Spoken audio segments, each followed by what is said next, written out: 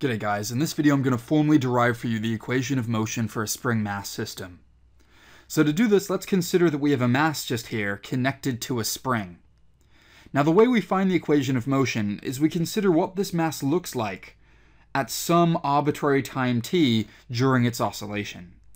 So at some time t, let's say this block is at a position x from its equilibrium position. Now it turns out this is all we need to draw a free body diagram of what's going on, so let's get started. This is our free body diagram. Now, of course, there will be vertical forces on this thing. We'll have, we'll have our force due to gravity and our normal force. But what's most interesting is we will have a spring force acting on this block towards the left.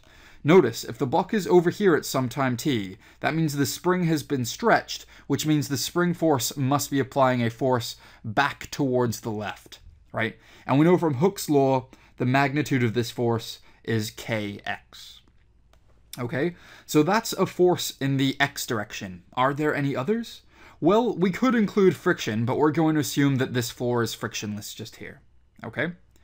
Now let's apply F equals ma in the x direction. We know that the sum of forces acting on a body, in this case in the x direction, is equal to your mass of your body times by your acceleration, in this case in the x direction. Now, what's the sum of forces? Well, we only have one, and it's going to be minus kx. It's minus because it's towards the left. And that's going to be equal to your mass times by your acceleration. But your acceleration can be written as your double derivative of your displacement. So we're going to write this as x double dot just here. And so if you rearrange this equation, you can tell that finding the equation of motion will boil down into solving mx double dot plus kx is equal to zero, which is a second order differential equation. So let's try and solve this guy to find the generalized equation of motion. Let's try and solve the equation x double dot plus k on m x is equal to zero. Alright, well to solve this differential equation, what we need to do is we need to guess a solution for x. So let's guess that x equals e to the lambda t, where lambda is a constant, is a solution to this differential equation just here. And this might seem quite arbitrary, especially considering we could have made other selections like cosine and sine, which would have worked just fine too, right? But this will work, I promise you. And in fact, this is a very powerful way to solve differential equations, which I'm going to use in future videos too, okay? So if we go ahead with this guess, how can we plug this into here? Well, we'll need to find the double derivative of this guy, so let's do it bit by bit.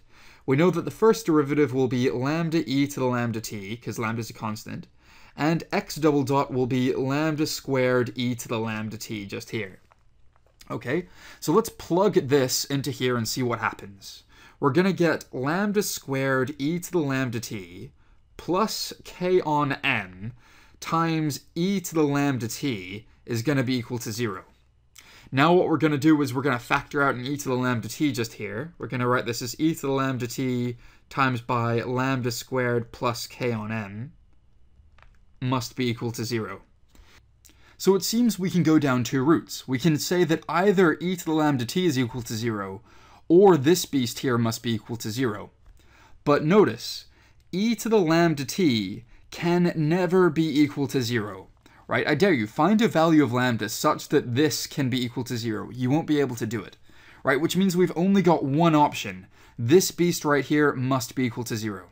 So lambda squared plus k on m must be equal to zero. And if you solve for lambda, that means that lambda must be equal to plus or minus the square root of minus k on m right? Which is interesting because that means from this negative square root sign that you're dealing with complex numbers.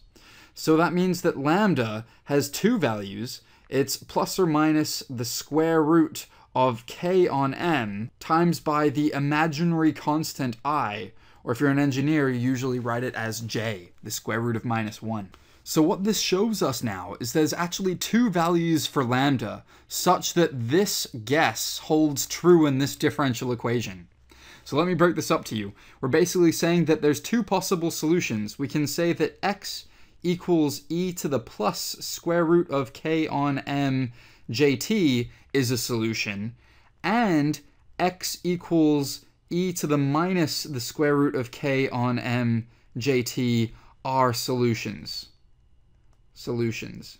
So we found two possible solutions to this differential equation. But what is the generalized solution? Well, it turns out we can apply the superposition theorem.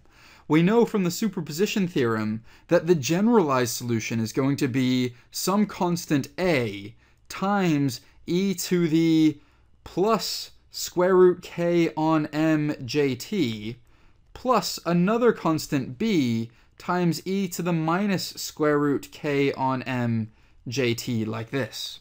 Notice that this equation must also satisfy this differential equation. Now, if you don't believe me, you can plug this in and see for yourself. But what I want to focus on from this differential equation right now is the fact that we still have complex exponents just here, and the constants a and b can also be complex, right? Even if a and b are complex, they still satisfy this equation. So let me write this down here. It means that a and b can be in the complex domain, just here. And we're going to use this fact later on in our derivation. So let's see, how can we simplify this any further? Well, it turns out all we need to do is we need to use Euler's formula. Euler's famous formula states that e to the j theta is going to be equal to cosine theta plus j sine theta. And so what I can do is I can expand out each of these terms separately. So let's do that. This is going to show that x is going to be equal to a times by cosine times the square root of k on mt plus aj sine times the square root of k on mt. And now let's deal with this guy. It's going to be plus b cosine minus the square root of k on mt plus bj times by sine minus the square root of k on mt, like this. So this is another expression for our generalized solution to this differential equation just here. So it seems like we're stuck and we can't simplify this formula any further. But rest assured we can use a trigonometry formula. We can show that cosine of minus theta is going to be equal to cosine theta. And we can use the fact that sine of minus theta is equal to minus sine of theta, like this. And we can use this to make sure that all the arguments here are the same as the arguments in here. So let's do that. And I'm just going to jump the gun. I'm going to make that substitution, and I'm going to group the cosines and sines together. So if we group the cosines together, we're going to get cosine times the square root of k on mt, all times by a, um, let's see, plus b. Notice that this will just become b cosine times the square root of k on mt. Now let's group the sines together. We can add this to sine of the square root of k on mt, all times by, let's see, it'll be aj here, and then this will become minus, when you bring that minus out here, minus bj there. And so interestingly, it looks like everything boils down into cosine times a constant plus sine times another constant. And we can simplify this even more by using yet another trigonometry substitution.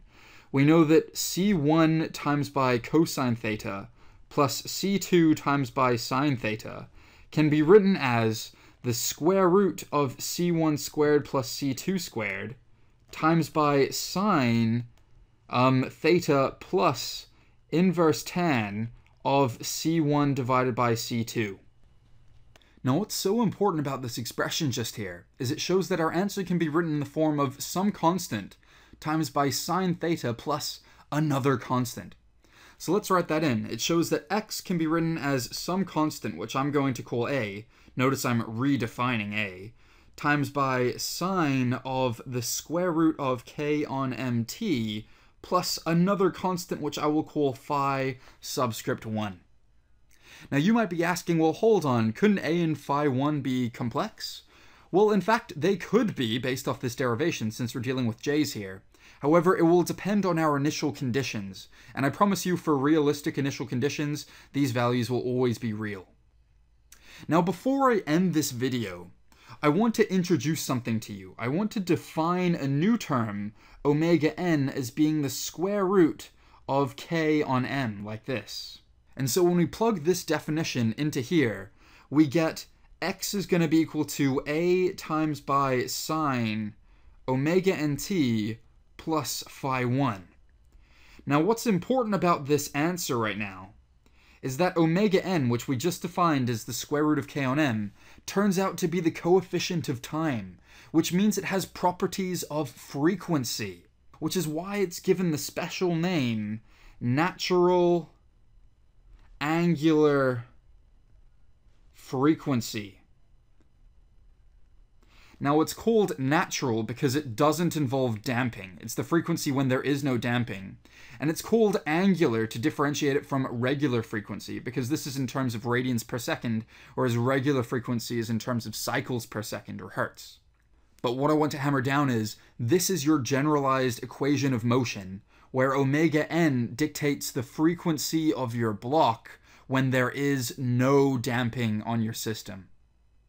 I hope that made sense, guys. I'm going to be covering a few example problems now. Cheers.